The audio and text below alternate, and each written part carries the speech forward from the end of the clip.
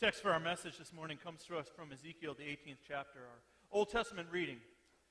Toto, I have a feeling we're not in Kansas anymore, exclaimed Dorothy Gale as she finally got the courage to step out of her house in the land of Oz as it sat atop the Wicked Witch of the East. I'm sure that most of you, if not all of you, know exactly that this line came from The Wizard of Oz. Either the play or the movie, both are the same there. And so you know probably the story as it goes. As Dorothy seeks to find her way back to Kansas, she travels along and she comes across some various things that she hasn't seen before. Sights that she hasn't before come across. In particular, three individuals who she may not have normally run into a brainless scarecrow, a heartless tin woodsman, and a cowardly lion. So, with Toto in tow, they travel along. And as you know, they eventually come to the Wizard of Oz, to his palace that is of great grandeur. But we find out that the wizard is a fraud. But that's okay, right? Because if you've seen the Wizard of Oz, you know, know what happens next. Next, they, we find out that all along, it was inside of them. They had the strength inside of them. Dorothy, she could just tap her heels together three times to go home. The scarecrow, well, he could wallow away those hours conferring with the flowers and consulting with the trees the Tin Woodsman, as he cried, showed his true emotion, and the Cowardly Lion stood up for what was true and right when he had to. Seems like a great story. But not such a good description of life, is it? Because we know that it, as much as we try, there, there, we can't find such ideal situations. We know that as hard as we try, we, we, we can't always fix those things in our lives that aren't perfect, can we? We know that, uh, there, that we might try to, and there's been hundreds and thousands of self help books written. Just go to your library or to the bookstore, and you'll see self help books on everything from to quit smoking, to lose weight, to how to have a happy, fulfilled life, how to better save, everything. But we know that oftentimes, even with these self help books, people fail. And when we fail, we don't like to take that burden ourselves, do we? We, we don't like to be the ones at fault. Instead, we prefer to, to pass the buck. We prefer to put the blame on someone else so that we don't have to bear it. This reminds me of a story, a true story, of when I was in first grade. Now, some of you have heard this story before, so bear with me a moment, but it's a story of uh, when I was, my friend Tommy Simpson and I were in first grade, and our teacher, Mrs. Volk, she had to be away from school one day, and I don't know the reason why any longer, but we had a substitute teacher my best friend Tommy and I thought, well, this is the perfect time to use our ultra sharp safety scissors as swords. And so we were swashbuckling as just the best of them would when suddenly the substitute teacher came over to us and he leaned in and he said, Gentlemen, we use our ultra sharp safety scissors to cut out art projects, not for swords. Well, that wasn't the bad part. Because we went back to the day as it went and went back to everything we had to do. But the next morning, Mrs. Volk came in. And she called me to her desk. And I imagine she called Tommy to her desk a little after myself, and she said quietly, Jonathan, what were you doing? You know better than to use your ultra sharp safety scissors as a sword. And I looked at Mrs. Volk and I swallowed and I said, in the same sturdiness and same tone without skipping a beat, The devil made me do it. And she looked at me, and I wasn't sure if she was going to laugh or explode, but said, No, Jonathan, the devil did not make you do it. You are responsible for your own actions. True story. I've since learned that it is very true that I am responsible for my own actions. But too often we do like to pass the blame, don't we? We like to pass the buck onto someone else. We don't like to hold the responsibility. We like to either say, well, so and so made me do it, and because it takes it out of our hands. It vindicates us in a way because then at least we're not touching it. We, we can say, I couldn't help myself. And isn't that exactly what was going on in Ezekiel's message to the people of Israel today? Here, the people of Israel have this proverb that they couldn't help but say. And you may not have recognized this proverb yourself because we don't use it, but they said, The fathers have eaten the sour grapes, and the children's teeth are set on edge. Well, that, if you didn't catch what the meaning is there, is basically The children of Israel are complaining because they are getting punished for what the forefathers did. They're complaining because they don't feel responsible for what has happened. They don't think that their sin has counted. They think that the Babylonian exile, that's the fault of our parents. The, the fact that there are, are armies surrounding them, that there are other forces, that's the fault of their forefathers. And they refuse take responsibility for their own sins. They refuse to take an honest look at themselves and say, wait a second here. Could there be some truth to this? No, in fact, actually, they don't do that, do they? They continue when they stop blaming their forefathers. If you read just a little further, who do they blame next? They blame God, don't they? They put the blame on God and say, God, it's your fault. You're unjust. Did you see the question God asked of them? Are my ways unjust, O house of Israel? No, it's your ways. But they can't help but pass that buck pass that blame onto someone else. And regrettably, we know exactly what this is like.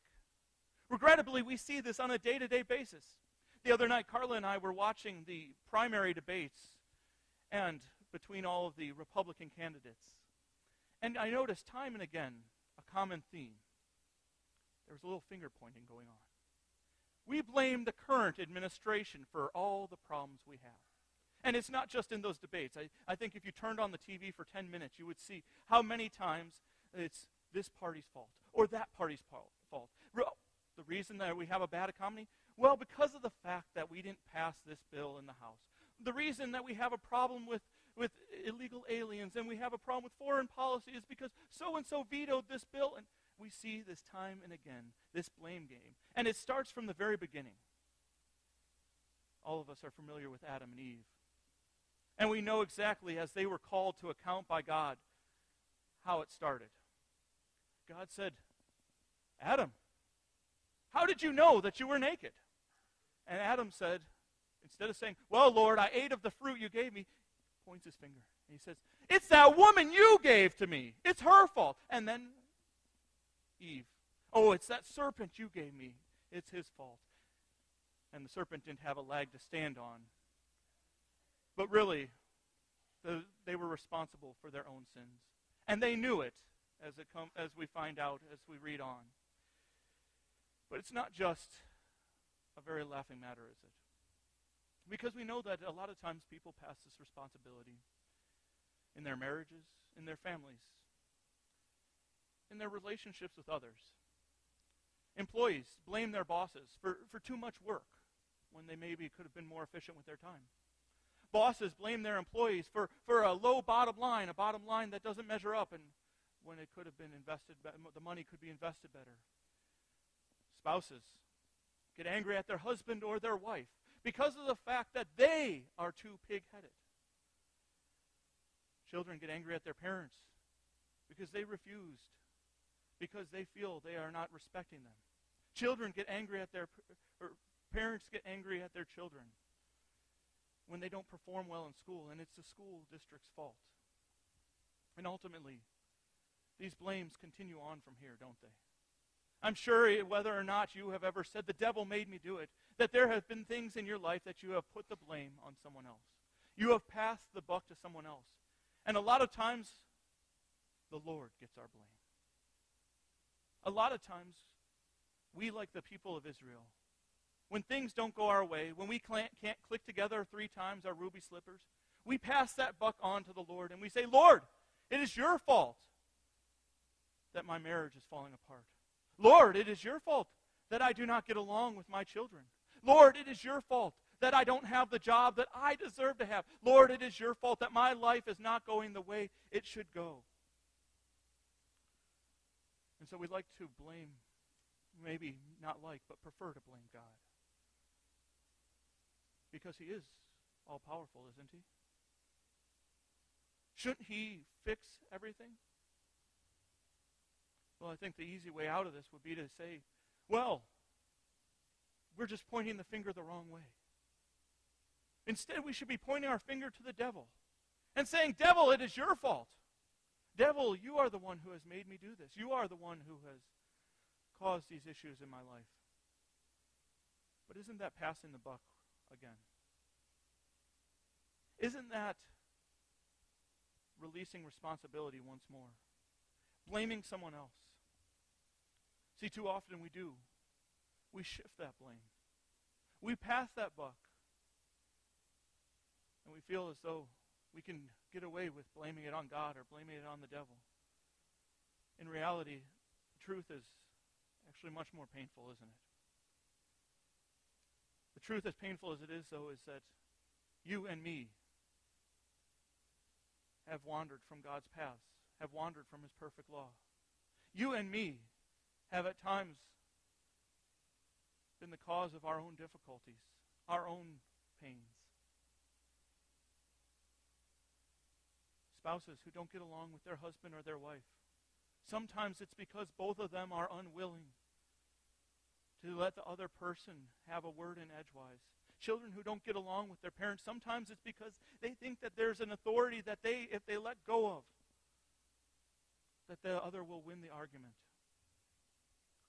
Sometimes we have medical problems because we don't eat right, because we don't exercise right.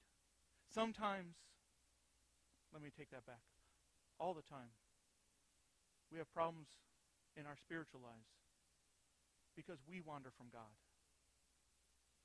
We are the responsible ones. We are the ones who, when we look down, it is not the devil who made, it do, made us do it. It is our own sinful nature. It is our own choices, the things that we have done in our lives that separated us from God. God has never left us. God has never wandered away from us, but we, time and again, have taken those roads that we thought were the easy way out and wandered far from Him. And so, isn't the question that God asks of the Israelites quite appropriate for us? Are my ways unjust, O house of Israel? Is it not your ways that are unjust? O people of God, is it not your ways unjust? Is it not my ways that are unjust? And God offers us a solution to this problem, but it wouldn't be an easy solution, easy to say, but hard to do. And that is to repent. Repent and live are the words that close our Old Testament lesson for today in Ezekiel. But how hard is it uh, for us to repent, to turn back? Merriam Webster defines repentance as to turn from sin and dedicate oneself to the amendment of one's life, to feel regret or contrition, and to change one's mind. The word here used in Hebrew, shuv, literally to turn back, as if on the way walking down the road, to turn around. And I've heard it def- described by pastors to me in the past a 180 degree turn from our sinful lives. But how hard is it to do that? To make that 180 degree turn? How hard is it to turn back from our own sinful ways? Sure, at times we feel we're getting these things under control. We grab hold of one sin, but we discover there's 800,000 still waiting for us to figure out. And often as we repent, as often as we turn back, we discover we are st- still sinful people. We are still people who, at our very heart, our very nature, are separated from God, have wandered from Him. And so there is only one cure. There is only one cure to the soul that has turned from God. For the Christian, for the believer who has who's left their Lord and wandered away. And that is our Savior Jesus. Our Savior Jesus, who did live a life that is perfect, who did live a life that was without blemish, who did live a life that was white as snow. He went to the cross for each one of us. Because on our own we could not repent. On our own, we could not turn to God, but only by His power.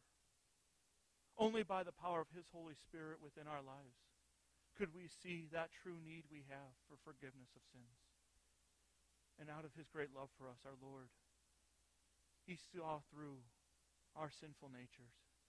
He saw through our broken bodies. And He said, You are mine.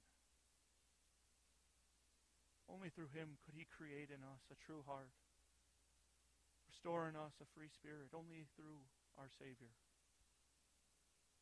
So often, so often we want it to be something that's under our control.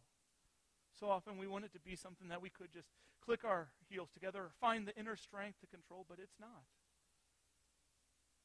But it's so much greater than that. Because on our power, of course, it would fail. But on the power of our Savior, it cannot fail. Of the power of Christ, we need not be afraid. We need not fear. Because he has claimed us as his own. He has covered us with his perfect blood to make us righteous. Now, is this then license to live our lives never repenting, never, never seeking God's law? No. Paul says in Romans chapter 6, What shall we say then? Shall we go on sinning so that grace may increase? By no means. We died to sin. How can we live in it any longer? Or don't you know that all of us who were baptized into Christ Jesus were baptized into his death? We were therefore buried with him through baptism into death, in order that just as Christ was raised from the dead through the glory of the Father, we too may live a new life. And that is the promise that God gives to us. That as we are redeemed children of God, as we do seek his repentance, as we do seek his forgiveness time and again, that time and again he will say to us, I forgive you. Time and again he will say to you, You are my child, and I love you. And that promise that's made in our baptism, that promise that Peyton received today, is a promise that one day we will celebrate in the glory of the Father. We will be set free from the pains of this life, from the difficulties of this world, from the heart, hurt and the pain, from the blame of this world. And we will see the glory of our Father. And he will say, Welcome home. And with his loving grace will call us home to him. And as God calls us, repent and live. And live your life to the fullness. Live your life to the fullness in Christ as children who have received the forgiveness of our Savior. Amen. Let us pray. Almighty God, we are a sinful people. We have sinned against you in our thought, word, and deed. But we know that as many times as we have sinned, you have called us back to yourself. You have sent your Holy Spirit to us, and we pray, Lord, that we would ever know this promise, that we would ever know your consolation and your forgiveness, and that we would know that because of your death on the cross, we do have salvation. Lord, we pray that each day we would joyfully celebrate this salvation. We would seek after your ways, and that we would share your gracious love with all those we meet. Lord, help us to see that it is not by our power, not by our might, but by your Spirit that we have been made your children, and that one day we will receive our reward in heaven with you. May the peace of God, which transcends all understanding, guard our hearts and minds now and always. Amen.